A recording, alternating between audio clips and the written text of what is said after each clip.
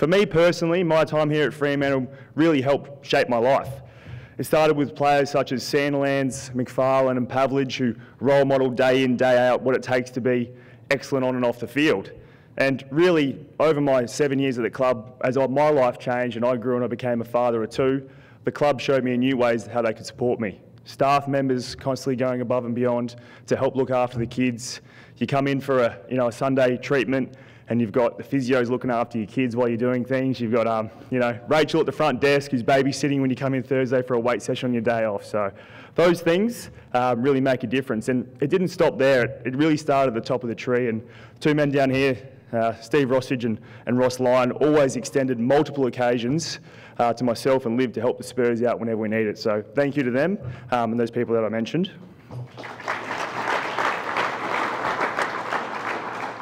And through the club's connections, they've been able to assist me with player sponsors that have really mentored me off field and given me something else. Um, really, my pursuits in business, where I've uh, wanted to grow and learn and change. And I've had a few dabbles in media that at times weren't super successful. I've got a few clips from the boss.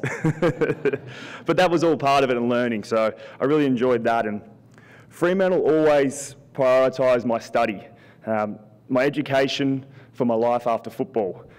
This was only acknowledged through the board, but it was also flowed down through the whole club. Um, one particular example really stands out for me. Um, I'd like to share that story with you.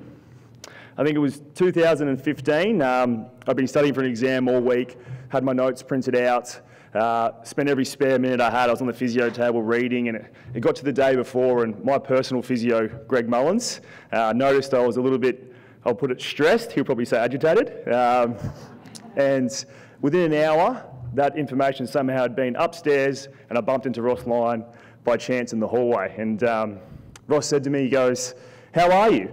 And like as any player says when it's three days, four days from the game, I'm fantastic, Ross, nothing's wrong. I'm great.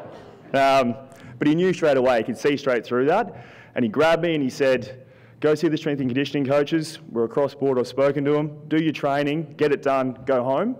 And I said, yep, I'll get it done, I'm fine. He goes, no, I don't want to see you again until after your exam's done. And that moment for me really showed that they prioritised my life and it's about more than just being a footballer.